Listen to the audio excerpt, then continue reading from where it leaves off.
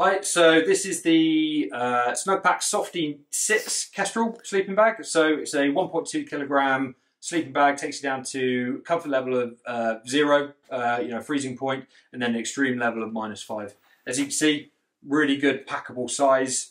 Um, yeah, really good. This is obviously uncompressed at the moment, just in its uh, in its bag form, but you know, a really good um, size to, to warmth ratio. So let's get into it.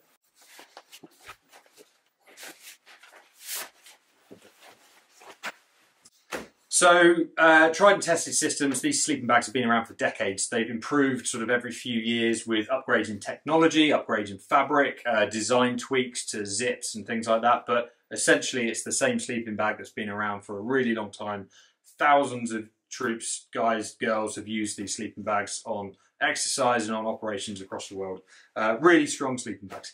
Will, can you take us through some of the features? Yeah, sure. So there's a full length zip that runs along the side of the sleeping bag, which is also reinforced in the back, so it reduces the chances of snagging when you're um, opening and closing uh, the bag. It's also a two-way zip, so there's another zip at the bottom here, so you can use that to ventilate out any hot air if you're starting to build up too much hot air on the inside. Then also, whilst we're here in the foot box area, you've got a reinforced fabric that when you're wearing your boots inside, if you're worried about getting bumped in the evening, then you're not going to be ruining the inside of your sleeping bag. On the top, you've also got an elasticated hood, so again, if, which is also cinchable. So if you wanted to cinch it down nice and tight, so you can retain as much of the warm, uh, the warmth in your sleeping bag than you can do.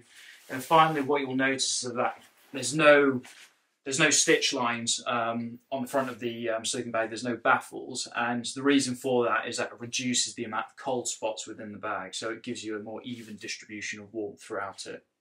So one of the really good things about the Snugpak range, especially when you get to this size sleeping bag and the one smaller than this, the, the Softie 3, is that these make great additional liners to the bigger sleeping bag systems that they've got. So you could put this inside a Softie 10 or a Softie 12 and give you that extra level of insulation.